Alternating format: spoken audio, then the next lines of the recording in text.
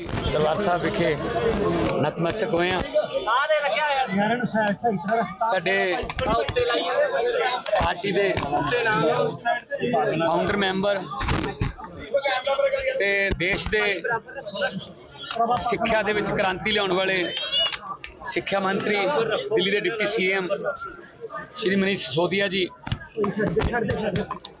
ਉਹਨਾਂ ਨੂੰ ਸਰਵਉੱਚ ਅਦਾਲਤ ਵੱਲੋਂ ਨਿਆਂ ਮਿਲਿਆ।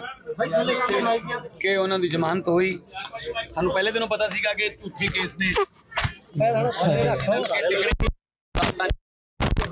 ਇਹੀ ਉਮੀਦ ਅਸੀਂ ਕੇਜਰੀਵਾਲ ਸਾਹਿਬ ਵਾਲੇ ਕੇਸ 'ਚ ਕਰ ਰਹੇ ਹਾਂ। ਇਸ ਤੋਂ ਪਹਿਲਾਂ ਸੰਜੇ ਸਿੰਘ ਜੀ ਦੇ ਵਿਰੁੱਧ ਕੋਈ ਸਬੂਤ ਨਹੀਂ ਸੀ। ਸੋ ਇੱਥੋਂ ਇਹ ਸਿੱਧ ਹੁੰਦਾ, ਬਸ ਸਿਰਫ ਇਹ ਕੁਝ ਸਮੇਂ ਲਈ ਸਾਡੇ ਲੀਡਰਾਂ ਨੂੰ ਜੇਲ੍ਹ 'ਚ ਭੇਜ ਕੇ ਪਾਰਟੀ ਤੋੜਨ ਦੀ ਕੋਸ਼ਿਸ਼ ਕਰਦੇ ਆ, ਪਰ ਆਮ ਆਦਮੀ ਪਾਰਟੀ ਕਿਸੇ ਹੋਰ ਮਿੱਟੀ ਦੀ ਬਣੀ ਹੋਈ ਹੈ। ਉਹ 'ਚ ਕੋਈ ਤਰੇੜ ਜਾਂ ਦਰਾੜ ਨਹੀਂ ਆਊਗੀ। ਤੋਂ ਅਰਦਾਸ ਕੀਤੀ ਸੀ। ਮੈਂ ਵੀ ਕਈ ਵਾਰ ਆਇਆ ਇੱਥੇ ਅਰਦਾਸ ਕੀਤੀ ਸੀ ਕਿ ਸੱਚ ਦੀ ਜਿੱਤ ਹੋਵੇ ਸਾਨੂੰ ਬਲ ਬਖਸ਼ੇ।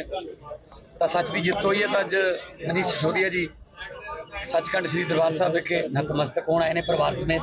ਕੋਈ ਪੋਲੀਟੀਕਲ ਪ੍ਰੋਗਰਾਮ ਨਹੀਂ ਹੈਗਾ। ਸਿਰਫ ਸਿਰਫ ਤੇ ਸਿਰਫ ਮੱਥਾ ਟੇਕਣ ਆਏ ਨੇ। ਮੈਂ ਇੱਕ ਵੀ ਕਹੂੰਗਾ ਕਿ ਆਪਣੇ ਭਾਰਤ ਯੂਨੀਫਾਈਡ ਪੈਨਸ਼ਨ ਯੋਜਨਾ ਦੇ ਦੱਸ ਦਿਓ।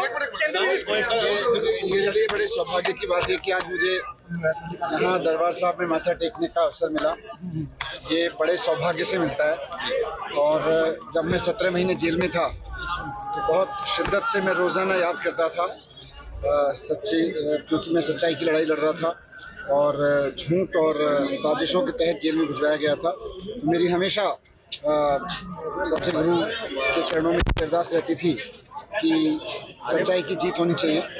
और जब सच्चाई की जीत हुई, मुझे दरबार साहब के आशीर्वाद से आशीर्वाद से माननीय सुप्रीम कोर्ट और संविधान की वजह से न्याय मिला। तो मैं सबसे पहले मान साहब के साथ बात हुई तो सबसे पहले यही चर्चा हुई कि सबसे पहले सचखंड पे जाके माथा टेकेंगे और बहुत श्रद्धा के साथ आज पूरे दिल से मैं अपने परिवार के साथ यहाँ आया हूँ और बहुत आभार व्यक्त करते हुए और सच्चाई की हमेशा जीत होती रहे जो लोग सच्चाई के लिए लड़ रहे हैं उनकी जीत होती रहे जो लोग गलत काम कर रहे हैं वो पीछे हटें वो नीचे आए।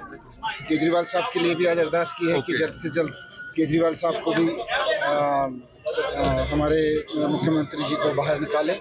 और सच्चाई की वहाँ भी जीत। हो हम सब बहुत दिल से आप मानते हैं। तरह आपको बेल मिली है लगता है केजरीवाल साहब जी को भी बेल मिल जाएगी जैसे सीबीआई ने केंद्र के द्वारा। देखिए यहाँ ये तो मैंने कहा ना जैसे सीएम साहब ने भी कहा ये तो सचखंड है।